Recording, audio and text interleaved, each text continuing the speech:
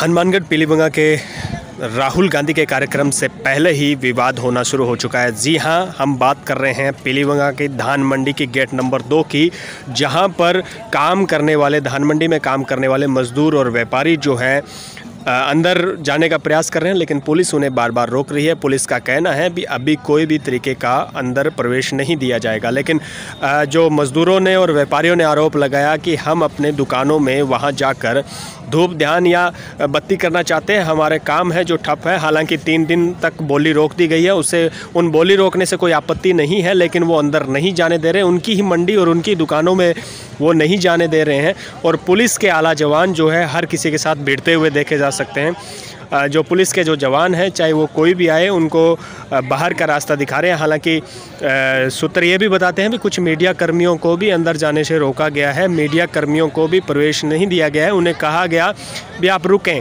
उस गेट से इस गेट और इस गेट से उस गेट के बीच में जो जनता है, जो पब्लिक है, वो पिस रही है। लेकिन जो पुलिस के जो जवान हैं, वो अपनी तानाशाही करे हुए हैं। ये तस्वीरें उस समय की है जब मजदूर बाहर विरोध प्रदर्शन कर रहा था। उन्होंने विरोध प्रदर्शन शुरू कर दिया। उन्होंने कहा कि हमें अंदर प्रवेश दिया जाए, हम अंदर जाना चाहते हैं। वहीं आम पब्लिक भी अंदर जाने के लिए कसमकश करती हुई नज़र आई।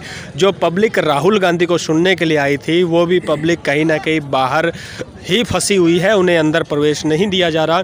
सुबह से ही ये माहौल बना है। तो हो सकता है ये माहौल काफ़ी बड़े विरोध में तब्दील हो सकता है और आशंकाएँ यह भी है, भी ये माहौल हो सकता है शांत भी हो जाए। लेकिन अभी ऐसा कोई न, रास्ता नज़र नहीं आ रहा, ना तो प्रशासन का कोई अधिकारी इनके साथ समझाइश करने में लगा हुआ है ना ही यहाँ पर कोई जो तमाम तरीके के जो लोग हैं, वो समझने को तैयार है, क्योंकि उन्होंने साफ़ कर दिया है कि वो अंदर जाना चाहते हैं। कुछ लोग कह रहे हैं, हम राहुल गांधी को सुनने आए थे और कुछ लोग जो यहाँ के मजदूर हैं, वो कह रहे हैं भी हमें अंदर जाना है, हमने अपनी दुकानों की सफ़ाई करनी है, वहाँ पर भगवान को अरदास करनी है, उन्होंने दुकानें खोलनी हैं। लेकिन पुलिस के आला जवान जो है, हर किसी के साथ भिड़ते हुए नज़र आ रहे हैं।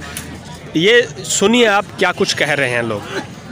तो से बंद है, सभी दुकानदार, सभी मजदूर भाई बाहर खड़े हैं। किसी की दुकान खोलने की अनुमति नहीं दे रही है प्रशासन और न अंदर जाने के लिए अनुमति दे रही है। क्या आपको कोई लिखित में इन्होंने बताया आदेश दिया? कोई आदेश नहीं है कोई कुछ नहीं है जी। बोली के ऑप्शन के लिए इन्होंने तीन दिन के लिए बंद रखा रहा भाई तीन दिन बोली बंद है। वो हमें एक्सेप्ट है बोली बंद है तो हमें कोई दिक्कत नहीं है बोली बंद है। क्या नाम है आपका? राजकरण जैन। नहीं किससे बात करी? है जी किससे बात करी अभी आपने यहाँ? गेट पर बात करिए जी और किससे बात करेंगे? मजदूर लोग जो ये मजदूर लोग खड़े हैं ये सब जो मजदूर लोग मंडी में मजदूर और कर हैं, व्यापारी खड़े हैं आप देखो चारों तरफ़। सारे मंडी में व्यापारी और मजदूर काम करने वाले हैं जो मजदूर लोग उनको अंदर नहीं जाने देते जो काम करना उनको। नहीं ये जो मजदूर लोग बाहर खड़े हैं किसके लिए खड़े हैं? जहाँ पर हम काम करते हैं अगर हमें रोज़गार नहीं मिला रोज़गार नहीं मिला तो हम कहाँ जाएँगे?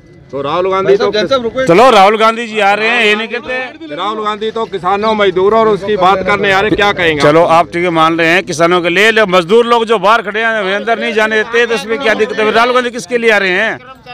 जो मजदूर लोग या किसान जो अंदर नहीं जाएँगे तो फिर क्या सिस्टम होगा? मेरा नाम संदीप है। कौन सुनेगा मजदूर?